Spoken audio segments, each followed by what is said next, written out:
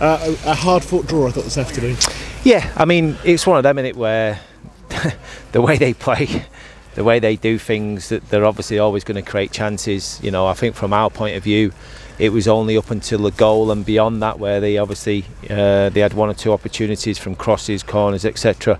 Uh, before that, I, I, must admit, I was very calm. Uh, you know, I, was happy with the way we were sort of defending it.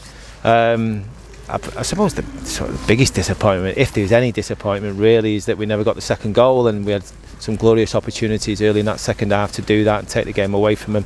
Um, but yeah, listen, I would have took a point before the game, and the reason I, I say that is I know I know how difficult it is to, to deal with that style, um, and probably three or four weeks ago we might have might have lost it, might have you know caved in a little bit, but the the players sort of stood up to it manfully and um, you know deserve what they got. Yeah, that's what I said to, to Liam. I think four mm. weeks, five weeks ago, mm. you may have lost it, and and especially it's quite unique, isn't it? You got the two, the left and right centre half, mm. effectively playing as wing backs at mm. the end, and you got the the other centre half scoring the goal.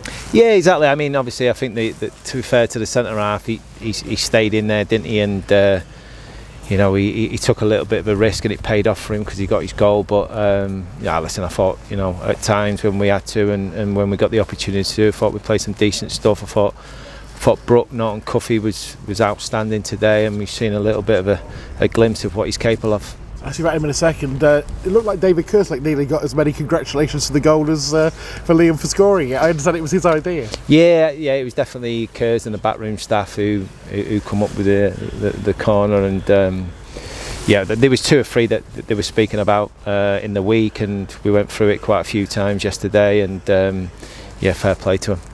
Um, you mentioned Brooke, he had a couple of sticky early minutes defensively, but mm. if you like his attacking play, that run at the end of the first half and mm. what we saw in the second half seemed to help him get his confidence defensively as well. Yeah, I mean that's a huge part of his game. You know, his attacking play is a big, big part of what his what his um, best attributes are. But um, yeah, he, clearly he was a little bit nervous initially, but it was his you know first league start. Um, I know he's come off the bench a few times, but it was his first league start. It was a big game, obviously. Um, the elements didn't help us again today, a little bit similar to Burton. Uh, could have done without that, but yeah, he came through that and got stronger and stronger. And McGrandles, we thought in midfield was ex- excellent. Yeah, well, we, we need Conor. It's important with Conor in it. You know, even when he's not great with the ball sometimes, or he has a bad day with the ball, it's important that he's the one who's ultra competitive and, and holds his position because obviously you know how important Liam is to us, and obviously we've missed him from a, for big, big chunks of the season. So Conor becomes really important to do that role. Perhaps one of the other eye-catching moments was that save towards the end from, from Josh, mm. which was I don't really know how long his arms are, and he's like Inspector Gadget. I think mm. he managed to get to it.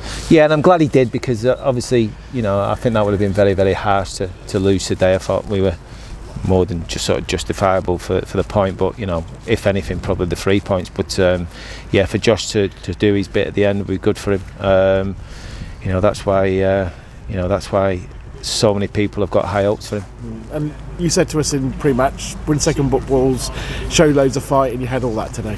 We did, and we knew we had to do. You know, if we didn't, we would have lost the game. And I wanted just a little bit more composure at times. You know, because it's so hard to go from if you're asking a player whose you know biggest attribute is getting on the ball, has got soft feet, can see a pass, to go and be really competitive and fight and scrap, and then go back to his natural game within seconds, it's difficult. So getting that balance right can be hard at times, but I thought we picked our moments today and did it quite well. Quick turnaround for Tuesday, and I know we spoke to you before the game about, about Joe Walsh. Is he potentially available for Tuesday, just for the fans who are going and maybe didn't hear it?